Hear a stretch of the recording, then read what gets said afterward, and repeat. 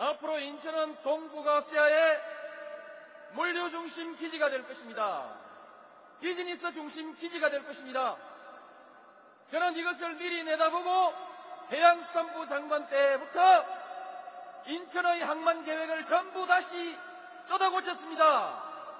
저는 이미 출발하고 있습니다. 제가 대통령이 되면 어제 발표됐던 우리 정부의 동북아 물류 비즈니스 중심 계획을 확실하게 추진해 나가겠습니다.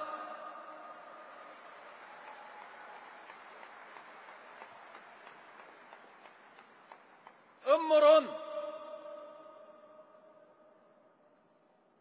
색깔론, 그리고 근거 없는 모략, 이제 중단해 주십시오. 한나라당과 조선일보가 합창해서 입을 맞추어서 저를 허들떴는 것을 방어하기도 참 힘이 듭니다. 제 장인은 좌익 활동을 하다 돌아가셨습니다. 그러나 해방되는 해에 실명을 하셔서 앞을 보지 못했기 때문에 무슨 일을 얼마나 했는지는 모르겠습니다. 제가 결혼하기 훨씬 전에 돌아가셨는데 저는 이 사실을 알고 제 아내와 결혼했습니다. 그리고 아이들 잘 키우고 지금까지 서로 사랑하면서 잘 살고 있습니다. 뭐가 잘못됐습니까? 이런 아내는 제가 버려야 합니까? 그렇게 하면 대통령 자격이 있고 이 아내를 그대로 사랑하면 대통령 자격이 없다는 것입니까? 여러분 이 자리에서 여러분들께서 심판해 주십시오. 여러분이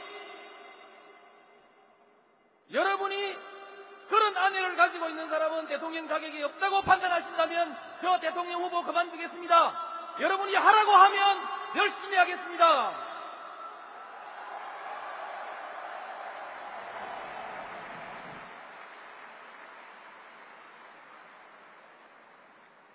언론 국유화 과거에도 생각해본 일 없고 앞으로도 그럴 생각 없습니다.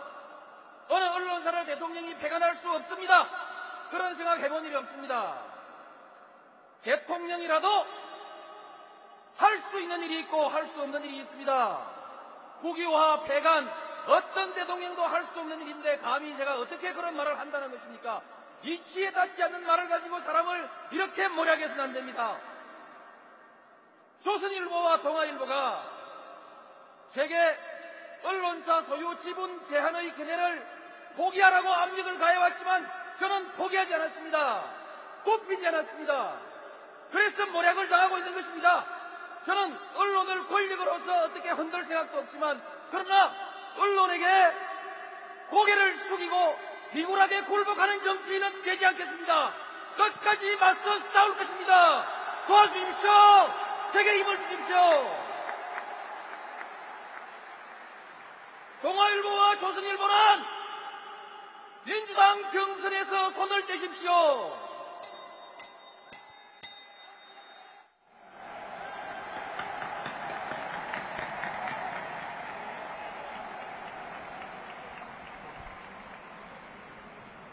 감사합니다.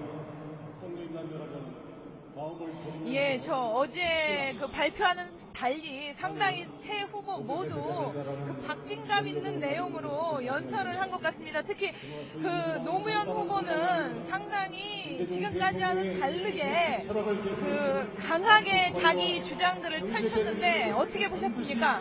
네, 자신에 대한 최근의 공격에 대해서 정면 대응 의지를 뚜렷이 밝혔습니다. 어, 특히 가장 어, 특징적이었던 게 마지막 부분에서 동아 조선을 향해 가지고 이를테면 정면 대응을 하겠다는 어, 반선전포고 비슷한 어, 이런 메시지를 강하게 던졌습니다.